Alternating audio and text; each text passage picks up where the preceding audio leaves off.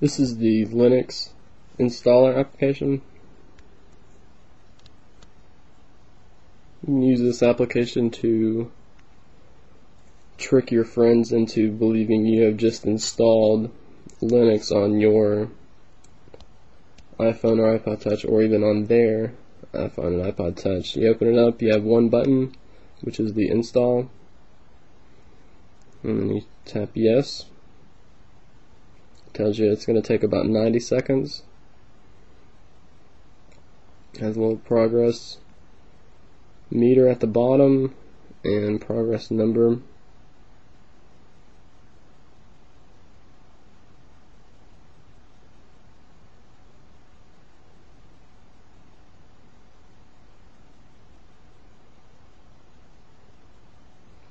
Remember, this is not doing anything. This is all for aesthetic purposes only.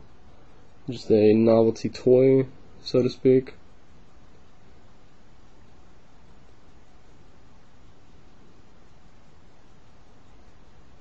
But it can be quite convincing.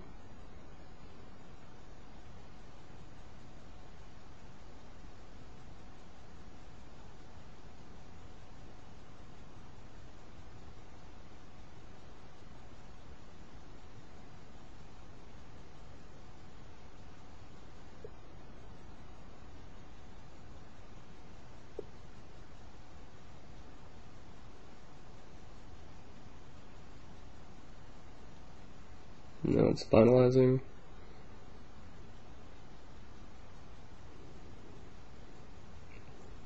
Now you can choose to reboot now or reboot later. And it will actually reboot your device.